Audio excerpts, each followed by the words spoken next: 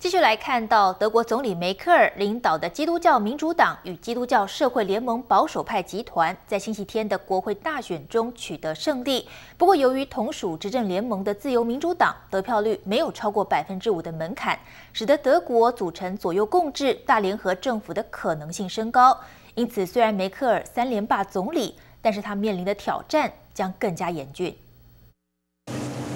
星期一，德国各大传媒都以总理梅克尔作为封面人物进行报道。《柏林早报》以“完胜梅克尔”报道了这次大选结果，德国图画报则以“梅克尔最大胜利”显示执政党大幅领先的趋势。根据德国第一电视台公布的出口民调结果显示，梅克尔领导的保守派政治集团基督教民主党、巴伐利亚基督教社会联盟得票率约为百分之四十一点五，最大反对党社会民主党约百分之二十五点七，强硬派左派党约百分之八点六。绿党约百分之八点四。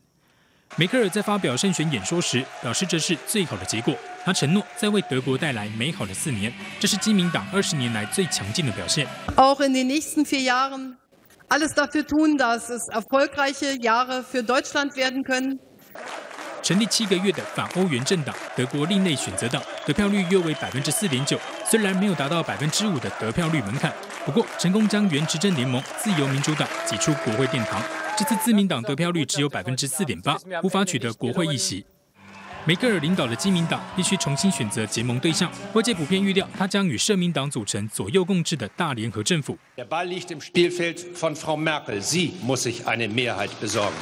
不同于争论不休的外国朝野，德国政治趋向共识形态，这也让德国大选十分特别。国内外的观察家直到选举前夕，也没有发现德国朝野对某项重大议题针锋相对。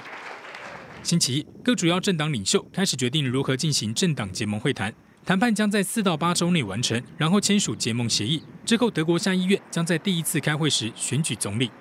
大部分德国人偏爱再次组成大联合政府，如同梅克尔第一个总理任期，这让新上台的德国政府不再那么慷慨解囊与宽宏大量，面对欧洲盟国的政策态度变化可能不大。其他包括再生能源政策、人口高龄化危机以及规划欧洲的愿景等，都将成为梅克尔新任期的重大挑战。新唐人亚太电视国际新闻组编译。